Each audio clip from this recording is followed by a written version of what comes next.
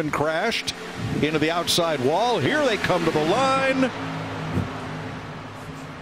Brad Keselowski for the win. Oh, oh. Kyle that's that's the post win. turned that car into the wall, and Brad Keselowski gets his first iRacing victory.